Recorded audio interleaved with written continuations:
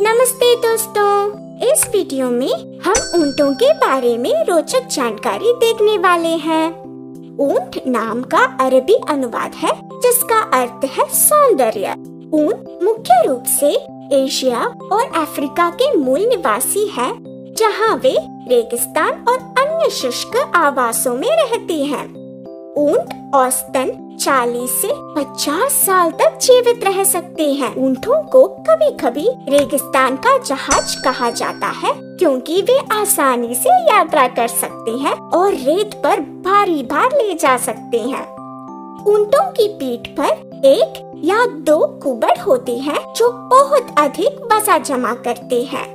पानी या भोजन उपलब्ध न होने पर पोषक तत्व प्राप्त करके लंबे समय तक जीवित रहे। ऊँटों के पैर लंबे होते हैं, जो उनके शरीर को गर्म ज़मीन से दूर रखते हैं।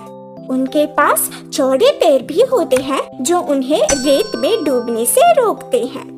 ऊँटों के मोटे फर कोट होते हैं, जो उन्हें गर्मी और सर्दी से बचाते हैं। ऊँट बिना पानी पिए दस दिनों तक जीवित रह सकता है। वे कुछ ही मिनटों में 200 लीटर तक पानी भी पी सकते हैं। सैंड स्टॉम से निपटने के लिए ऊँटों में विशेष अनुकूलन होते हैं।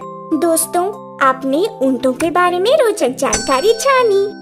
इस जानकारी को अपने दोस्तों के साथ शेयर करें।